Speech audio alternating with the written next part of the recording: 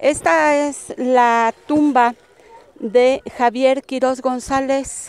Eh, esta es la tumba donde su familia y los vecinos de esta ciudad aparentemente lo sepultaron el día que se los entregaron luego de que perdiera la vida en Tijuana.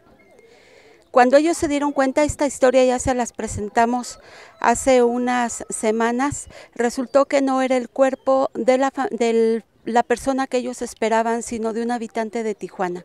Desde entonces, desde el eh, primeros días de diciembre, la familia ha estado sufriendo por este error de la Fiscalía, de la Funeraria de Tijuana y a estas fechas, cuando está terminando el mes de marzo, no les resuelven.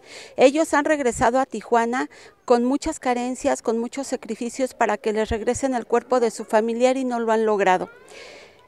El día de hoy, mucha gente de, este, de esta tenencia de Siraguato de los Bernal se ha congregado aquí a pesar de la contingencia sanitaria que hay, a pesar de la pandemia en la que estamos viviendo, porque le señalaron que vendrían de la Fiscalía a exhumar el cuerpo de la persona que está aquí, que es nativa de Tijuana.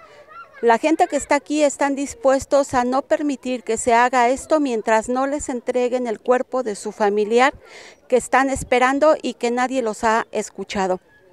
Han acudido a muchas autoridades locales, estatales, nacionales y no los escuchan. La familia de Javier quieren que él descanse en paz en este lugar y quieren ser escuchados. Mientras la gente se arriesga a estar aquí, a estar juntos, pero aseguran que no van a permitir que nadie venga a sacar este cuerpo mientras no les entreguen el de ellos.